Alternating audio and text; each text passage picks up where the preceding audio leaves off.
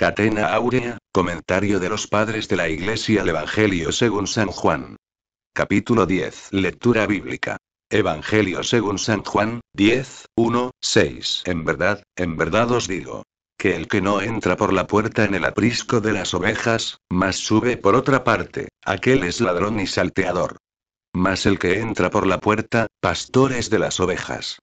A este abre el portero, y las ovejas oyen su voz, y a las ovejas propias llama por su nombre, y las saca. Y cuando ha sacado fuera sus ovejas, va delante de ellas. Y las ovejas le siguen, porque conocen su voz. Mas al extraño no le siguen, antes huyen de él, porque no conocen la voz de los extraños. Este proverbio les dijo Jesús.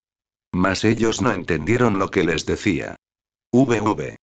1, 6. Crisóstomo, Injuanemón 58. Como el Señor había sostenido una disputa sobre la ceguera de los judíos, a fin de que ellos no dijesen. No es por nuestra ceguera por lo que no nos acercamos a ti, sino que nos apartamos como huyendo del error, quiere probar que él no es un impostor, sino que es el verdadero pastor, fijando las señales que distinguen al ladrón del pastor. Y en primer lugar enseña quién es el impostor y el ladrón, diciendo, en verdad, en verdad os digo, que el que no entra por la puerta en el aprisco de las ovejas, mas sube por otra parte, aquel es ladrón y salteador. Él se refiere de una manera tácita a todos aquellos que vinieron antes que él y a los que vendrían después, al anticristo y a los falsos cristos. Llama puerta a las escrituras, porque éstas enseñan el conocimiento de Dios. Ellas son las que guardan las ovejas y no dejan que se acerquen los lobos, cerrando la entrada a los herejes. Así, pues, el que no usa de las escrituras, sino que sube por otra parte, esto es, adopta otra vía distinta y no legítima, este es un ladrón. Dice sube y no dice entra, a la manera del ladrón que trata de escalar el muro y hace todas las cosas rodeado de peligros. Dice por otra parte designando de una manera tácita a los escribas, que enseñaban las máximas y las doctrinas humanas, y al mismo tiempo violaban la ley.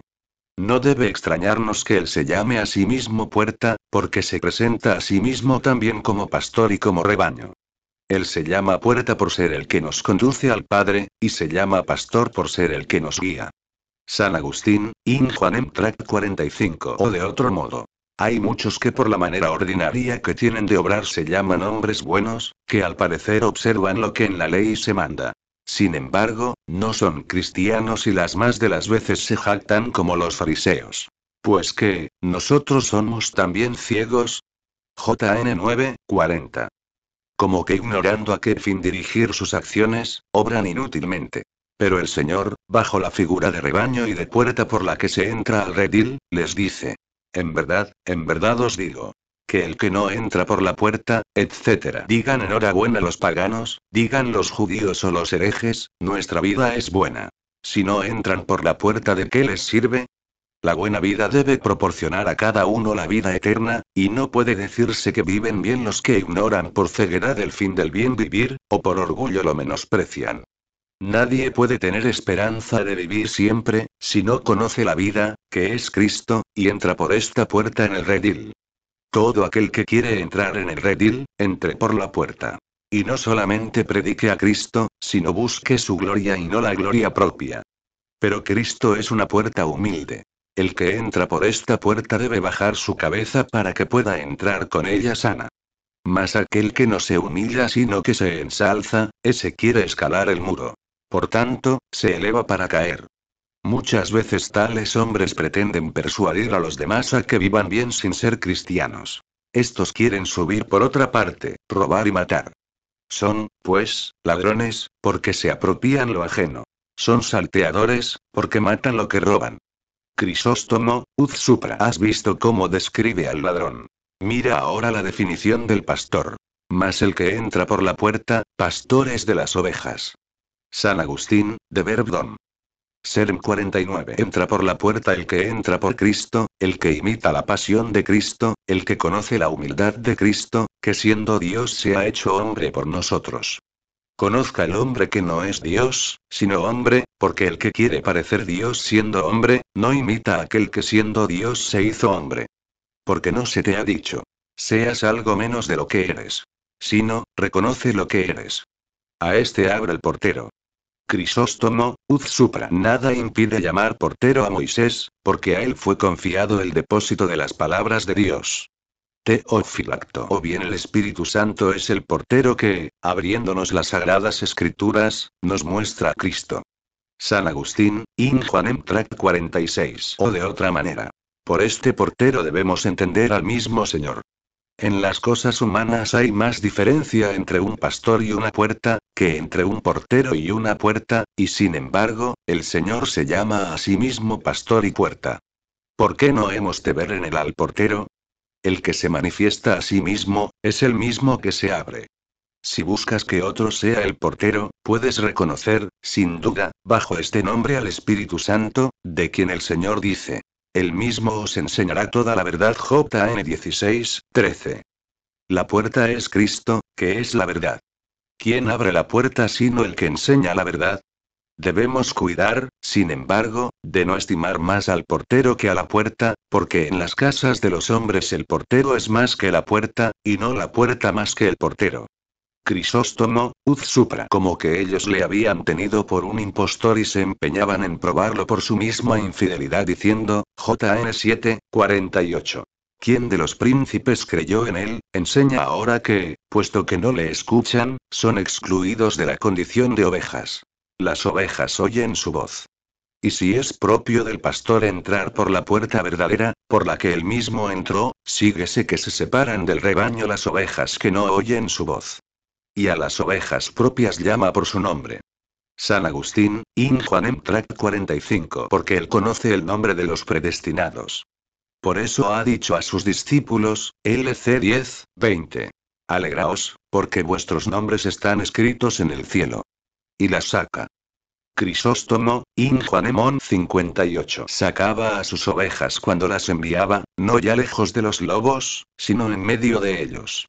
Estas palabras parece que se dirigen al ciego de una manera indirecta, porque le sacó llamándole de en medio de los judíos. San Agustín, Uz Supra. ¿Y quién es el que saca las ovejas sino aquel que perdona los pecados, para que desembarazados de sus duras cadenas puedan seguirle? Y cuando ha sacado fuera sus ovejas, va delante de ellas.